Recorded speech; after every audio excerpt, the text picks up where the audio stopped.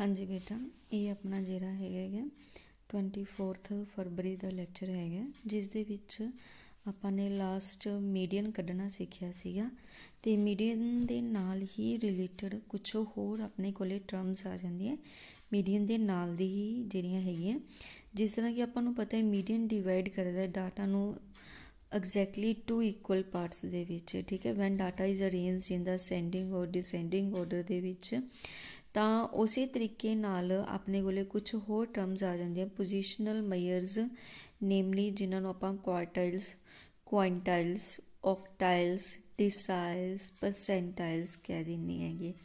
ਠੀਕ ਹੈ, ਜਿਨ੍ਹਾਂ ਦੇ ਬਾਰੇ ਆਪਾਂ ਪੜਾਂਗੇ ਅੱਗੇ ਜਾ ਕੇ ਇਹਨਾਂ ਨੂੰ ਵੀ ਆਪਾਂ ਮੀਡੀਅਨ ਦੀ ਤਰ੍ਹਾਂ ਹੀ ਸੋਲਵ ਕਰ ਦੇਣੇ ਆ ਜੇ ਬਾਈ ਚਾਂਸ ਤੁਹਾਨੂੰ ਕੋਈ ਇਹਨਾਂ ਦਾ ਸਮਝ, ਇਹਨਾਂ ਦੇ ਵਿੱਚੋਂ ਕੁਆਰਟਾਈਲਸ ਤੇ ਡਿਸਾਈਲ ਜਾਂ ਪਰਸੈਂਟਾਈਲ ਇਹ ਤਿੰਨੋਂ ਇੰਪੋਰਟੈਂਟ ਹੈ ਮੀਨਸ ਮੀਡੀਅਨ ਤੋਂ ਬਾਅਦ ਜੇ ਕੋਈ ਤੁਹਾਨੂੰ ਕੋਈ ਸਮ ਆ ਜਾਂਦਾ ਹੈ ਜਿਹਦੇ ਬਾਰੇ ਪੁੱਛ ਸਕਦੇ ਆ ਕੁਆਰਟਾਈਲ ਡਿਸਾਈਲ ਤੇ ਪਰਸੈਂਟਾਈਲ ਤਾਂ these are also known as partition values or fractions ਆਪਾਂ ਇਹਨਾਂ ਨੂੰ ਕਹਿ ਦਿੰਨੇ ਹੈਗੇ।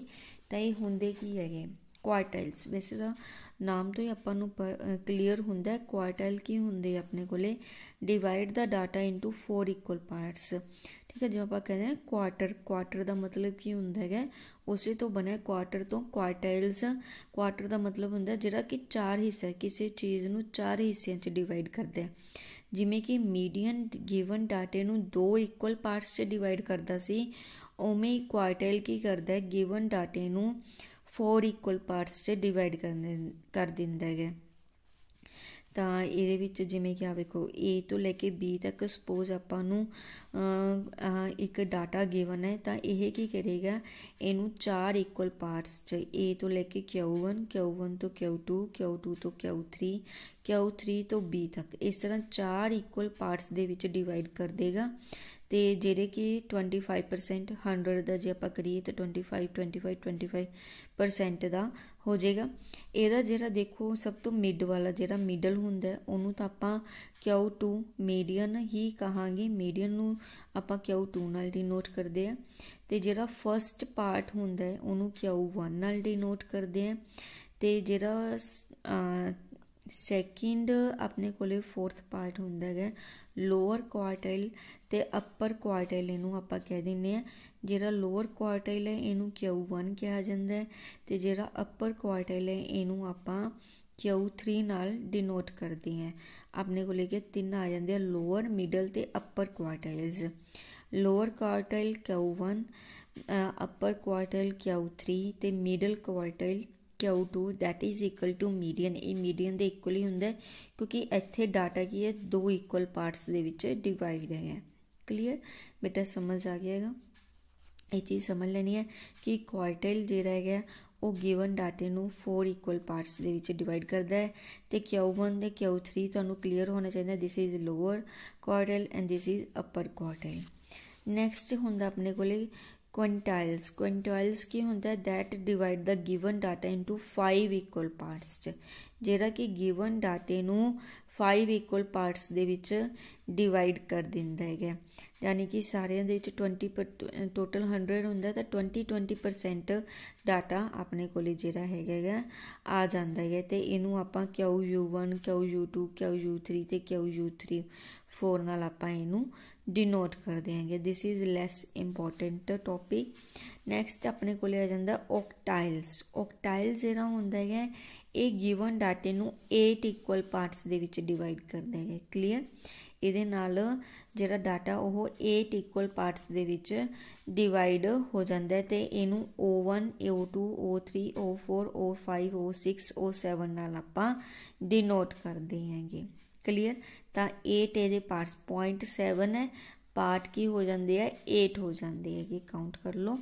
Clear the points of division are 7 which are represented by o1 o2 o3 so on o1 is the 1 eighth of the total item ਜਿਹੜਾ o1 ਹੁੰਦਾ ਉਹ ਕੀ ਹੈ 1 eighth of the total item ਹੁੰਦਾ ਹੈ o2 2 eighth of the total item ਹੈ o4 ਜਿਹੜਾ o4 ਹੈ ਇੱਥੇ ਧਿਆਨ ਚ ਰੱਖਣਾ ਹੈ that is equal to the median ਉਹ median ਦੇ ਇਕੁਅਲ ਹੁੰਦਾ ਹੈ clear o4 is always equal to the median ਦੇ ਇਕੁਅਲ ਹੋਏਗਾ ਨੈਕਸਟ ਹੈਗਾ ਡਿਸਾਈਲਸ ਡਿਸਾਈਲਸ ਕੀ ਹੁੰਦਾ? That divide the given data into 10 equal parts ਜਿਹੜਾ ਕਿ ਗਿਵਨ ਡਾਟੇ ਨੂੰ 10 ਇਕੁਅਲ ਪਾਰਟਸ ਦੇ ਵਿੱਚ ਡਿਵਾਈਡ ਕਰ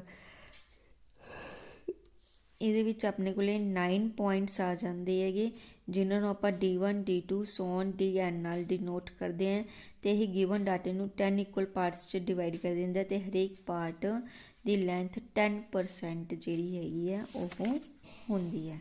ਨੈਕਸਟ ਆਪਣੇ ਕੋਲੇ ਆ ਜਾਂਦਾ ਹੈ ਪਰਸੈਂਟਾਈਲ ਪਰਸੈਂਟਾਈਲਸ ਦਾ ਮਤਲਬ ਕੀ ਹੈ ਕਿ ਗਿਵਨ ਡਾਟੇ ਨੂੰ ਆਪਾਂ 100 ਇਕੁਅਲ ਪਾਰਟਸ ਦੇ ਵਿੱਚ ਡਿਵਾਈਡ ਕਰਦੇ ਹਾਂ ਤੇ ਹਰੇਕ ਪਾਰਟ ਦੀ ਜਿਹੜੀ ਲੈਂਥ ਆ ਉਹ 1% ਆ ਜਾਂਦੀ ਹੈ। ਇਹਦੇ ਵਿੱਚ 99 ਪੁਆਇੰਟਸ ਆਪਣੇ ਕੋਲੇ ਜਿਹੜੀ ਹੈਗੇ ਉਹ ਆ ਜਾਂਦੇ ਜਿਹਨੂੰ ਕਿ ਇਹਨੂੰ 100 ਇਕੁਅਲ ਪਾਰਟਸ ਦੇ ਵਿੱਚ ਡਿਵਾਈਡ ਕਰਦੇ ਆ। ਤੇ ਇਹਦੇ ਵਿੱਚ ਧਿਆਨ ਰੱਖਣਾ ਜਿਹੜਾ P50 ਹੁੰਦਾ, ਉਹ ਕਿਹਦੇ ਇਕੁਅਲ ਹੁੰਦਾ ਹੈਗਾ? P50 ਦੀ ਵੈਲਿਊ ਮੀਡੀਅਨ ਦੇ ਇਕੁਅਲ ਹੁੰਦੀ ਹੈ ਪਰਸੈਂਟਾਈਲ ਦੇ ਵਿੱਚ। ਕਲੀਅਰ ਬੇਟਾ? ਬਸ ਇਹਦੇ ਵਿੱਚ ਇਹੀ ਚੀਜ਼ਾਂ ਧਿਆਨ 'ਚ ਰੱਖਣੀਆਂ ਸੀ ਉਸ ਤੋਂ ਬਾਅਦ ਆ ਜਾਂਦੀ ਹੈ ਕੈਲਕੂਲੇਸ਼ਨ ਕਿ ਜੇ ਤੁਹਾਨੂੰ ਕੁਆਰਟਾਈਲ ਜਾਂ ਪਰਸੈਂਟਾਈਲ ਜਾਂ ਡਿਸਾਈਲ ਕੱਢਣ ਵਾਸਤੇ ਕਿਹਾ ਜਾਂਦਾ, ਤਾਂ ਕਿਸ ਤਰ੍ਹਾਂ ਕੱਢੋਗੇ? ਤਾਂ ਇਹ ਤੁਹਾਨੂੰ ਲਿਖੀਆਂ ਹੋਈਆਂ ਸਾਰੀਆਂ ਸੀਰੀਜ਼ ਦੇ ਵਿੱਚ, ਜਿਵੇਂ ਕਿ ਫਰਸਟ ਇੰਡੀਵਿਜੂਅਲ ਸੀਰੀਜ਼ ਹੈ। ਦੇਖੋ ਬੇਟਾ, ਜਦੋਂ ਆਪਾਂ ਮੀਡੀਅਨ ਕੱਢਦੇ ਹੁੰਦੇ ਸੀ, ਤਾਂ ਮੀਡੀਅਨ ਕੀ ਕਰਦਾ ਸੀ? ਦੋ ਇਕੁਅਲ ਪਾਰਟਸ 'ਚ ਡਿਵਾਈਡ ਕਰਦਾ ਸੀ, ਤਾਂ ਆਪਾਂ ਬਟੇ ਦੋ ਲਗਾਉਂਦੇ ਹੁੰਦੇ ਸੀ 2 ਲਗਾ ਦਿੰਦੇ ਸੀ।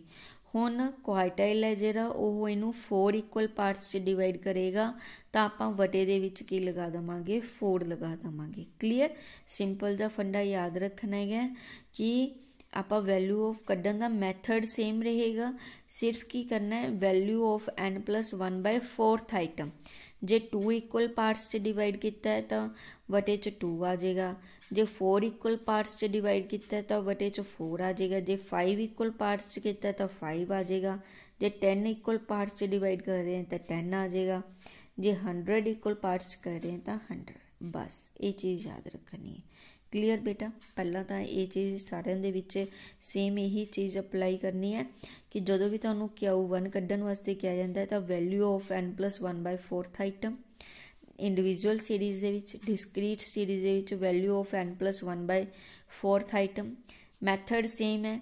ਜੋ ਵੀ ਡਾਟਾ ਗਿਵਨ ਹੈ, ਉਹਨੂੰ ਇਨਕਰੀਜ਼ਿੰਗ ਆਰਡਰ ਦੇ ਵਿੱਚ ਲਗਾ ਲਓ।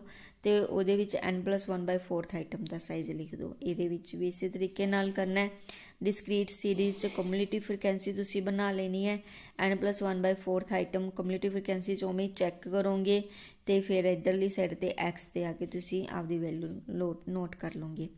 ਕੰਟੀਨਿਊ ਸੀਰੀਜ਼ ਦੇ ਵਿੱਚ ਵੀ ਤੁਸੀਂ ਸੇਮ ਮੈਥਡ ਰਹੇਗਾ। ਮੈਥਡ ਤੁਹਾਡਾ ਸੇਮ ਫੋਲੋ ਕਰਨਾ ਤੁਸੀਂ ਫਾਰਮੂਲਾ ਦੇਖ ਲਓ, ਬਸ ਇਹਦੇ ਵਿੱਚ ਵੱਡੇ ਚ ਕੀ 4 ਲੱਗ ਜਾਏਗਾ। Value of n 4th item ਪਹਿਲਾਂ ਕੱਢੋਗੇ। ਉਸ ਤੋਂ ਬਾਅਦ ਜਿਹੜਾ ਤੁਸੀਂ ਸੇਮ ਫਾਰਮੂਲਾ ਅਪਲਾਈ ਕਰਨਾ, ਜਿਵੇਂ ਮੈਥਡ ਵੀ ਸੇਮ ਫਾਰਮੂਲਾ ਵੀ ਸੇਮ ਸਿਰਫ 2 ਦੀ ਜਗ੍ਹਾ ਤੇ ਕਿ ਤੁਸੀਂ 4 ਲਗਾ ਦੇਣਾ। ਬਾਕੀ ਸਾਰਾ ਕੁਝ ਸੇਮ ਕਰਨਾ ਹੈ। ਜੇ ਹੁਣ ਦੇਖੋ, ਇਹਦੇ ਵਿੱਚ Q1 Q2 Q3 ਤਿੰਨ ਸੀ। Q2 ਤਾਂ ਤੁਹਾਨੂੰ ਪਤਾ ਹੀ ਹੈ ਮੀਡੀਅਨ ਦੇ ਇਕੁਅਲ ਹੁੰਦਾ ਹੈ ਠੀਕ ਹੈ? ਜੇ ਤੁਹਾਨੂੰ Q3 ਕੱਢਣ ਵਾਸਤੇ ਕਿਹਾ ਜਾਂਦਾ, ਤਾਂ ਤੁਸੀਂ ਕੀ ਕਰਨਾ ਹੈ ਮਲਟੀਪਲਾਈ ਦੇ ਵਿੱਚ 3 ਲਗਾ ਦੇਣਾ ਹੈਗਾ। ਕਲੀਅਰ ਬੇਟਾ? ਬਟ ਬਾਕੀ ਸਾਰਾ ਕੁਝ ਸੇਮ ਰਹੇਗਾ, ਸਿਰਫ ਮਲਟੀਪਲਾਈ ਚ ਕੀ ਕਰਨਾ, ਤੁਸੀਂ 3 ਲਗਾ ਦੇਣਾ ਹੈਗਾ। ਕਲੀਅਰ ਇਸ ਤਰ੍ਹਾਂ।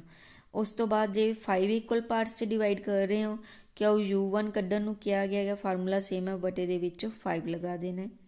ਜੇ ਕਿਉਂ u4 ਕੱਢਣ ਨੂੰ ਕਿਹਾ ਗਿਆ ਤਾਂ 4 ਹੈ, ਕਿਉਂਕਿ ਦੇਖੋ ਇੱਥੇ ਤਾਂ 1 ਹੈ ਨਾ 1 ਨਾਲ ਮਲਟੀਪਲਾਈ ਕਰੋਗੇ ਤਾਂ 1 ਹੀ ਰਹੇਗਾ। ਕੋਈ ਫ਼ਰਕ ਨਹੀਂ ਪਏਗਾ ਸੇਮ ਵੈਲਿਊ ਰਹੇਗੀ। ਹੁਣ ਜੇ 4 ਕੱਢਣ ਨੂੰ ਕਿਹਾ ਗਿਆ ਤਾਂ ਤੁਸੀਂ 4 ਨਾਲ ਮਲਟੀਪਲਾਈ ਕਰ ਦੇਣਾ, ਬਾਕੀ ਸਾਰਾ ਫਾਰਮੂਲਾ ਸੇਮ ਰਹੇਗਾ। ਜੇ d1 ਕਹੇ ਤਾਂ 10 ਨਾਲ ਡਿਵਾਈਡ ਕਰ ਦੇਣਾ ਸਭ ਨੂੰ। ਜੇ d6 ਕੱਢਣ ਨੂੰ ਕਿਹਾ ਗਿਆ, ਜਾਂ d5 ਕੱਢਣ ਨੂੰ ਕਹਿੰਦੇ, ਜਾਂ ਕੁਝ ਵੀ ਕੱਢਣ ਨੂੰ ਕਹਿੰਦੇ, ਤਾਂ ਉਨੇ ਟਰਮ ਨਾਲ ਤੁਸੀਂ ਕੀ ਕਰ ਦੇਣਾ ਮਲਟੀਪਲਾਈ ਕਰ ਦੇਣਾ ਜਿਵੇਂ 6 ਕੱਢਣ ਨੂੰ ਕਿਹਾ ਤਾਂ 6 ਨਾਲ ਕਰਤਾ। ਜੇ d5 ਕੱਢਣ ਨੂੰ ਕਹਿੰਦੇ ਤਾਂ 5 ਨਾਲ ਮਲਟੀਪਲਾਈ ਕਰ ਦਿੰਦੇ। ਜੇ ਤੁਹਾਨੂੰ d3 ਕੱਢਣ ਨੂੰ ਕਹਿੰਦੇ ਤਾਂ 3 ਨਾਲ ਮਲਟੀਪਲਾਈ ਕਰ ਦਿੰਦੇ। ਤਾਂ ਉਨੇ ਹੀ ਟਰਮ ਨਾਲ ਤੁਸੀਂ ਕਰਨਾ ਮਲਟੀਪਲਾਈ ਕਰ ਦੇਣਾ। ਹੁਣ ਜਿਵੇਂ ਕਿ p1 ਕੱਢਣਾ, ਤਾਂ 100 ਨਾਲ ਡਿਵਾਈਡ ਕਰ ਦਿੱਤਾ ਤੇ 1 ਨਾਲ ਮਲਟੀਪਲਾਈ ਇੱਕ ਤਰ੍ਹਾਂ ਦਾ ਹੋ ਗਿਆ। P30 ਕੱਢਣ ਨੂੰ ਕਿਹਾ ਤਾਂ 30 ਨਾਲ ਮਲਟੀਪਲਾਈ ਕਰਤਾ। P70 ਕੱਢਣ ਨੂੰ ਕਹਿੰਦੇ ਤਾਂ 70 ਨਾਲ ਮਲਟੀਪਲਾਈ ਸੇਮ ਫਾਰਮੂਲਾ ਫਾਰਮੂਲਾਜ਼ ਬੇਟਾ ਕੁਝ ਨਹੀਂ ਕਰਨਾ। ਮੈਥਡ ਸੇਮ ਹੈ arrange the data in ascending order inclusive series ਉਹਨੂੰ ਐਕਸਕਲੂਸਿਵ ਸੀਰੀਜ਼ ਦੇ ਵਿੱਚ ਆਪਾਂ ਨੇ ਕਨਵਰਟ ਲੈ ਲੈਣ ਕਨਵਰਟ ਕਰ ਲੈਣਾ ਹੈਗਾ। Clear conversion of unequal class interval ਇਹ ਸਾਰਾ ਕੁਝ ਆਪਾਂ ਨੂੰ ਪਤਾ ਹੈ, ਆਪਾਂ ਪਹਿਲਾਂ ਵੀ ਕਰ ਚੁੱਕੇ ਹਾਂ। ਉਹਨਾਂ ਨੂੰ ਜ਼ਰੂਰੀ ਨਹੀਂ ਹੈਗਾਗਾ ਕਿ ਅਨਇਕੁਅਲ ਕਲਾਸ ਇੰਟਰਵਲ ਨੂੰ ਆਪਾਂ equal class more than less than ਉਹਨੂੰ ਆਪਾਂ ਨੂੰ ਚੇਂਜ ਕਰਨਾ ਹੀ ਪੈਂਦਾ ਹੈ ਕਲੀਅਰ ਤਾਂ ਇਹਦੇ ਨਾਲ ਜੇ ਐਗਜ਼ਾਮਪਲਸ ਦੇਖ ਲਓ, ਤੁਹਾਨੂੰ ਜਿਵੇਂ ਐਗਜ਼ਾਮਪਲਸ ਦੇ ਵਿੱਚ calculate the median two quartiles third quartile fifth octile ਕੱਢਣ ਨੂੰ ਕਿਹਾ ਜਾਂ 8th ਡਿਸਾਈਲ ਕੱਢਣ ਨੂੰ ਕਿਹਾ 61 first percentile of the following series of marks obtained by 10 candidates in an examination. Individual series ਬੇਟਾ ਤੁਹਾਨੂੰ ਗਿਵਨ ਹੈ, ਜੇ ਤੁਸੀਂ ਆ ਸਾਰਾ ਕੁਝ ਕੱਢਣਾ ਹੈਗਾ ਠੀਕ ਹੈ? ਸਭ ਤੋਂ ਪਹਿਲਾਂ ਤੁਸੀਂ ਮੀਡੀਅਨ ਕੱਢਣਾ ਹੈ। ਮੀਡੀਅਨ ਦਾ ਫਾਰਮੂਲਾ ਤੁਹਾਨੂੰ ਆਉਂਦਾ ਹੀ ਹੈ ਇੰਡੀਵਿਜੂਅਲ ਸੀਰੀਜ਼ ਦੇ ਵਿੱਚ n+1/2th ਆਈਟਮ ਕਲੀਅਰ ਪਹਿਲਾਂ ਤਾਂ ਇਹਨੂੰ ਅਸੈਂਡਿੰਗ ਆਰਡਰ ਦੇ ਵਿੱਚ ਲਗਾ ਲਿਆ। n+1/2th ਆਈਟਮ ਜਾਨੀ ਕਿ ਵੈਲਿਊ ਆਫ ਈਵਨ ਸੀਰੀਜ਼ ਹੈ।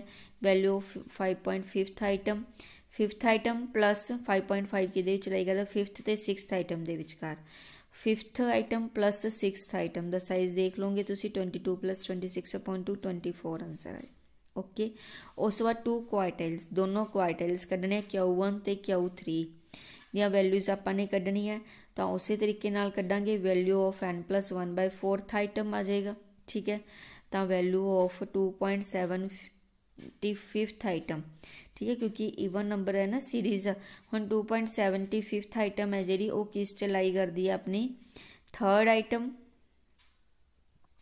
ਠੀਕ ਹੈ sorry 2. Second item plus 0.75 plus ਆਪਾਂ ਨੇ ਕੀ ਕਰਤਾ 0.75 ਥਰਡ ਆਈਟਮ ਜਾਨੀ ਕਿ third item minus second item ਆਪਾਂ ਇਹਦੇ ਵਿੱਚ ਕਰ ਦਵਾਂਗੇ। ਠੀਕ ਹੈ? ਕਿਉਂਕਿ ਬੇਟਾ ਇਹ ਈਵਨ ਸੀਰੀਜ਼ ਜੇ ਤਾਂ ਔਰ ਨੰਬਰ ਸੀਰੀਜ਼ ਹੁੰਦੀ, ਫਿਰ ਤਾਂ ਕੋਈ ਦਿੱਕਤ ਨਹੀਂ ਸੀਗੀ। ਕਿਉਂਕਿ ਇਹ ਈਵਨ ਨੰਬਰ ਸੀਰੀਜ਼ ਆ ਗਈ, ਤਾਂ ਕਰਕੇ ਆਪਾਂ ਨੇ ਇਹਦੇ ਵਿੱਚ ਇਸ ਤਰ੍ਹਾਂ ਕੀਤਾ ਗਿਆ। ਸੈਕਿੰਡ ਟਰਮ ਦੀ ਜਿਹੜੀ ਆਈਟਮ ਸੀਗੀ, ਠੀਕ ਹੈ? ਉਹਦੇ ਵਿੱਚ ਆਪਾਂ ਨੇ ਕੀ ਕੀਤਾ? 0.75 ਪਲੱਸ ਕਰਕੇ 14 12 ਕਰ ਦਿੱਤਾ। Third item minus second item okay ਤਾਂ ਇਹ ਆਪਣੇ ਕੋਲੇ ਜਿਹੜਾ ਹੈਗਾ 13.5 ਆ ਗਿਆ ਹੈਗਾ। ਜਦੋਂ Q3 ਕੱਢਾਂਗੇ ਆਪਾਂ, ਤਾਂ 3 ਨਾਲ ਮਲਟੀਪਲਾਈ ਕਰ ਦਵਾਂਗੇ। ਤਾਂ value of 8.25th item same ਉਸੇ ਤਰੀਕੇ ਨਾਲ ਆਪਣੇ ਕੋਲੇ ਆ ਜਾਏਗਾ।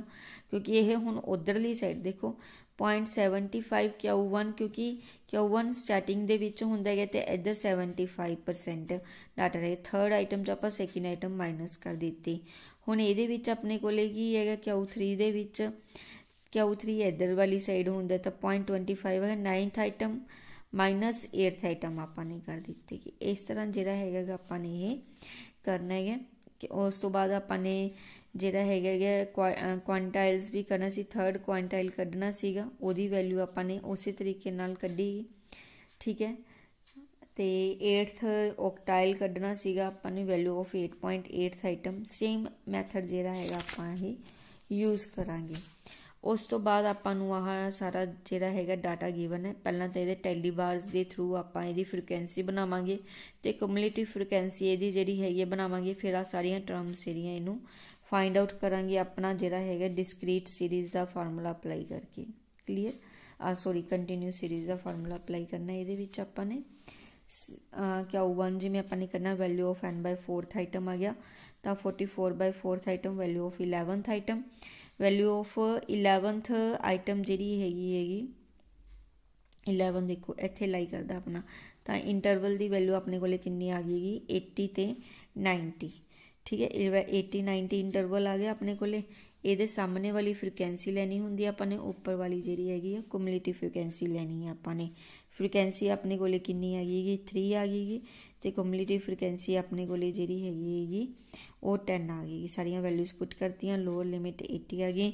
ਤੇ ਡਿਫਰੈਂਸ 10 ਦਾ ਆਪਣੇ ਕੋਲੇ ਆ ਕਿ ਉਹ 1 ਦੀ ਵੈਲਿਊ ਆ ਗਈ। ਸਿਮਿਲਰਲੀ ਆਪਾਂ 3n/4 ਤੁਸੀਂ ਕੈਲਕੂਲੇਟ ਕਰੋਗੇ ਤਾਂ ਇਹਦੀ ਵੈਲਿਊ 30 30 ਥਰਡ ਆਈਟਮ 33rd ਹੈਗਾ ਇੱਥੇ ਲਾਈ ਕਰ ਹੈਗਾ ਠੀਕ ਹੈ? ਇਸ ਤਰ੍ਹਾਂ ਜਿਹੜਾ ਹੈਗਾ ਤੁਸੀਂ ਸੇਮ ਉਸੇ ਮੈਥਡ ਨਾਲ ਸੋਲਵ ਕਰਨਾ ਹੈਗਾ। D7 ਕਰਨਾ ਹੈ ਤਾਂ 10 ਨਾਲ ਡਿਵਾਈਡ ਕਰ ਦੋਗੇ 7 ਨਾਲ ਮਲਟੀਪਲਾਈ ਕਰ ਦੋਗੇ। ਕਲੀਅਰ ਇਹ ਉਸੇ ਤਰ੍ਹਾਂ ਇੰਟਰਵਲਸ ਕੱਢ ਲੈਣੇ ਆਪਾਂ ਨੇ। ਇਹਦੇ ਵਿੱਚ ਅਰਥਮੈਟਿਕ ਮੀਨ ਮੀਡੀਅਨਸ ਤੇ ਕੁਆਰਟਰਸ ਆਪਾਂ ਨੇ ਸਾਰਾ ਕੁਝ ਕੱਢਣਾ ਹੈਗਾ। ਕਲੀਅਰ ਬੇਟਾ? ਇਹ ਸਾਰੇ ਸਮਝੇ ਬੇਟਾ ਫਾਰਮੂਲਾਜ਼ ਮੈਂ ਤੁਹਾਨੂੰ ਦੱਸ ਦਿੱਤੇ। ਹੋਰ ਕੁਝ ਵੀ ਨਹੀਂ ਇਹਦੇ ਵਿੱਚ ਹੈਗਾਗਾ ਡਿਫਰੈਂਟ ਜਿਹੜਾ ਕਿ ਮੈਂ ਤੁਹਾਨੂੰ ਦੱਸਾਂ। ਹੁਣ ਜਿਵੇਂ ਆ ਤੁਹਾਨੂੰ 5th ਐਗਜ਼ਾਮਪਲ ਹੈ। 5th ਐਗਜ਼ਾਮਪਲ 'ਚ ਕਿ ਕੁਝ ਟਰਮਸ ਕੀ ਮਿਸਿੰਗ ਹੈ। ਫਾਈਂਡ ਦਾ ਮਿਸਿੰਗ ਫ੍ਰੀਕੁਐਂਸੀ ਜੇ ਇਸ ਤਰ੍ਹਾਂ ਦਾ ਕੋਈ ਸਮ ਆ ਜਾਂਦਾ ਹੈ ਕਿ ਮਿਸਿੰਗ ਫ੍ਰੀਕੁਐਂਸੀ ਪਤਾ ਕਰੋ। Find the first and the third quartile the first ਤੇ ਥਰਡ ਕੁਆਰਟਲ ਦੀ ਵੈਲਿਊਜ਼ ਆਪਾਂ ਨੂੰ ਗਿਵਨ ਹੈਗੀਆਂ। ਐਂਡ 25 ਮਾਰਕਸ ਰਿਸਪੈਕਟਲੀ ਇਹ ਆਪਾਂ ਨੂੰ ਗਿਵਨ ਹੈਗੀਆਂ। ਤੇ ਆਪਾਂ ਨੇ ਮਿਸਿੰਗ ਫ੍ਰੀਕੁਐਂਸੀਜ਼ ਪਤਾ ਕਰਨੀ ਹੈ। ਕਿਉਂਕਿ ਆਪਾਂ ਨੂੰ ਕੁਆਰਟਲਸ ਦੀ ਵੈਲਿਊਜ਼ ਗਿਵਨ ਹੈਗੀਆਂ। ਆਪਾਂ ਨੇ ਜਿਹੜੀ ਫ੍ਰੀਕੁਐਂਸੀ ਗਿਵਨ ਹੈ, ਪਹਿਲਾਂ ਤੈਨੂੰ ਕਮਿਊਲੇਟਿਵ ਫ੍ਰੀਕੁਐਂਸੀ ਉਸੇ ਤਰ੍ਹਾਂ ਕੱਢਣੀ ਹੈ ਤੁਸੀਂ। ਪਲੱਸ ਕਰੀ ਜਾਣਾ ਹੈ ਹਰੇਕ ਅਗਲੀ ਟਰਮ ਨੂੰ ਕਲੀਅਰ ਤੇ ਐਂਡ ਦੀ ਵੈਲਿਊ ਇਹਨਾਂ ਸਾਰਿਆਂ ਨੂੰ ਪਲੱਸ ਕਰ ਲਿਆ, ਆਪਾਂ ਨੇ ਕਮਿਊਲੇਟਿਵ ਫ੍ਰੀਕੁਐਂਸੀ ਆ ਗਈ। ਹੁਣ n ਦੀ ਵੈਲਿਊ ਆਪਾਂ ਨੂੰ ਇਹ ਚੀਜ਼ ਗਿਵਨ ਵੀ ਹੈ, that is equal to 72 ਠੀਕ ਹੈ? ਟੋਟਲ ਆਪਾਂ ਨੂੰ 72 ਗਿਵਨ ਹੈ, ਤਾਂ ਮੀਨਸ n ਦੀ ਵੈਲਿਊ ਆਪਾਂ ਨੂੰ ਗਿਵਨ ਹੈ ਯਾਨੀ ਕਿ ਆਹ ਜਿਹੜਾ ਟੋਟਲ ਹੈ ਕਿਹਦੇ ਇਕੁਅਲ ਹੈ? 72 ਇੱਕ ਰਿਲੇਸ਼ਨ ਦਾ ਆਪਣੇ ਕੋਲੇ ਆਹ ਆ ਜਾਏਗਾ। ਉਸ ਤੋਂ ਬਾਅਦ ਆਪਾਂ ਨੂੰ Q1 ਕੁਆਰਟਲਸ ਦੀ ਵੈਲਿਊ ਗਿਵਨ ਹੈ, ਤਾਂ ਆਪਾਂ Q1 ਦੀ value ਕੱਢਾਂਗੇ value of n by 4th item means 72 by 4th item that is 18th item 18th item ਜਿਹੜੀ ਹੈਗੀ ਹੈਗੀ। 18th ਆਈਟਮ ਜਿਹੜੀ ਹੈਗੀ ਹੈਗੀ ਸਿੰਸ Q1 ਦੀ ਵੈਲਿਊ ਜਿਹੜੀ ਹੈਗੀ 12.5 ਹੈ, which lies in the class interval 10 to 15 ਹੈ ਨਾ ਕਲਾਸ ਇੰਟਰ ਕਿਉਂਕਿ Q1 ਕੁਆਰਟਲ ਦੀ ਵੈਲਿਊ 10.12.5 ਹੈ, ਤਾਂ ਓਬਵੀਅਸਲੀ 10 ਤੋਂ 15 ਦੇ ਵਿਚਕਾਰ ਲਾਈ ਕਰੇਗਾ। ਤਾਂ ਆਪਣੇ ਕੋਲੇ ਜਿਹੜਾ ਹੈਗਾ ਕਲਾਸ ਇੰਟਰਵਲ ਕਿੰਨਾ ਆ ਗਿਆ? 10 ਤੇ 15 ਆ ਗਿਆ। ਜੇ ਆ ਕਲਾਸ ਇੰਟਰਵਲ ਹੈ, ਤਾਂ ਫ੍ਰੀਕੁਐਂਸੀ ਕਿੰਨੀ ਹੋ ਗਈ ਆਹ? ਤੇ ਕਿਊਮੂਲੇਟਿਵ ਫ੍ਰੀਕੁਐਂਸੀ 12 ਹੋ ਜਾਏਗੀ ਆਪਣੇ ਕੋਲੇ ਕਲੀਅਰ ਤਾਂ 12.5 ਇਜ਼ ਇਕੁਅਲ ਟੂ ਆਪਣੇ ਕੋਲੇ ਕੀ ਆ ਗਿਆ? ਇੱਥੇ ਆਪਣੇ ਕੋਲੇ L ਹੁੰਦਾ ਸੌਰੀ 10 18 L ਦੀ ਵੈਲਿਊ ਆਪਣੇ ਕੋਲੇ 10 ਆ ਗਈਗੀ 18 12 ਠੀਕ ਹੈ 5 ਅਪਨ x ਆਪਣੇ ਕੋਲੇ ਜਿਹੜਾ ਹੈਗਾ ਇਹ ਸਾਰਾ ਆ ਗਿਆਗਾ ਕਲੀਅਰ 18 ਆਪਣੇ ਕੋਲੇ, ਆਹ ਆ ਗਿਆ ਸੀਗਾ, n 4 ਦੀ ਵੈਲਿਊ 12 ਆਪਣੇ ਕੋਲੇ ਕਮਿਊਨਿਟੀ ਫ੍ਰੀਕੁਐਂਸੀ ਤੇ 5 ਅਪਨ x ਜਿਹੜਾ ਹੈਗਾ ਆਪਣੇ ਕੋਲੇ 5 ਡਿਫਰੈਂਸ ਹੈਗੇ ਤੇ x ਆ ਗਿਆ, ਠੀਕ ਹੈ? ਇੱਥੋਂ ਆਪਣੇ ਕੋਲੇ x ਦੀ ਵੈਲਿਊ ਕੈਲਕੂਲੇਟ ਹੋ ਕੇ 12 ਆ ਜਾਏਗੀ। ਉਸ ਤੋਂ ਬਾਅਦ Q3 ਹੈ ਜਿਹੜਾ, ਉਹ ਵੀ ਇਸੇ ਤਰੀਕੇ ਨਾਲ ਆਪਾਂ ਸੋਲਵ ਕਰਾਂਗੇ 54th ਆਈਟਮ ਆ ਗਿਆ ਤੇ Q3 ਦੀ ਵੈਲਿਊ ਆਪਾਂ ਨੂੰ ਗਿਵਨ ਵੀ ਹੈਗੀ। That is equal to ਆਪਣੇ ਕੋਲੇ ਹੈਗਾ 25 25 ਆਪਾਂ ਨੂੰ ਪਤਾ ਹੈ ਇਹਦੇ ਵਿੱਚ ਲਾਈ ਕਰਦੀ ਹੈ 25 ਤੋਂ ਲੈ ਕੇ 30 ਦੇ ਇੰਟਰਵਲ ਦੇ ਵਿੱਚ। ਤਾਂ ਉਸੇ ਤਰੀਕੇ ਨਾਲ ਵੈਲਿਊ ਪੁੱਟ ਕਰਕੇ ਆਪਾਂ y ਦੀ ਵੈਲਿਊ ਕੱਢ ਲਵਾਂਗੇ। x ਤੇ y ਦੀਆਂ ਇਹ ਵੈਲਿਊਜ਼ ਇਹਦੇ ਵਿੱਚ ਪੁੱਟ ਕਰ ਦਿਓ, z ਦੀ ਵੈਲਿਊ ਆ ਜਾਏਗੀ। ਤਾਂ ਇਸ ਤਰ੍ਹਾਂ ਆਪਾਂ ਨੂੰ ਮਿਸਿੰਗ ਫ੍ਰੀਕੁਐਂਸੀਜ਼ ਜਿਹੜੀਆਂ ਉਹ ਕੈਲਕੂਲੇਟ ਹੋਏ। 8.10 ਐਕਸਰਸਾਈਜ਼ ਤੁਸੀਂ ਇਸੇ ਤਰੀਕੇ ਨਾਲ ਸੋਲਵ ਕਰਨੀ ਹੈ ਨੈਕਸਟ ਐਕਸਰਸਾਈਜ਼ ਦੇ ਵਿੱਚ ਬੇਟਾ ਜਿਹੜਾ ਹੈਗਾ, ਆਪਾਂ ਮੋਡ ਆਪਣਾ ਨੈਕਸਟ ਲਾਸਟ ਟਾਈਪ ਹੈ ਜਿਹੜੀ ਇਸ ਚੈਪਟਰ ਦੀ, ਉਹ ਸਟਾਰਟ ਕਰ ਦਵਾਂਗੇ। ਥੈਂਕ ਯੂ ਬੇਟਾ।